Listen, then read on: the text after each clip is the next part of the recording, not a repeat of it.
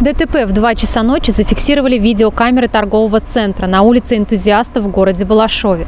Сотрудник охраны центра сообщил в полицию, что автомобиль совершил наезд на пешехода и с места происшествия скрылся.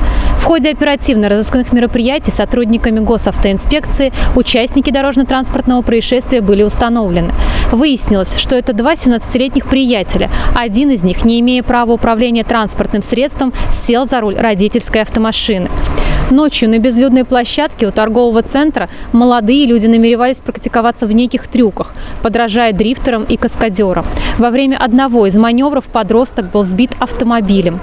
На момент посещения сотрудниками полиции пострадавший заверил, что в медицинской помощи он не нуждается, но позже все-таки обратился в больницу. Отделом госавтоинспекции МОМВД Балашовской Саратовской области по данному факту проводится проверка, по окончанию которой будет принято решение в соответствии с Кодексом об административном правонарушении Российской Федерации. На данный момент юноша уже привлечен к административной ответственности за управление транспортным средством водителем, не имеющим права управления, а также за оставление места ДТП, участником которого он являлся. Госавтоинспекция напоминает, что автомобиль – это источник повышенной опасности.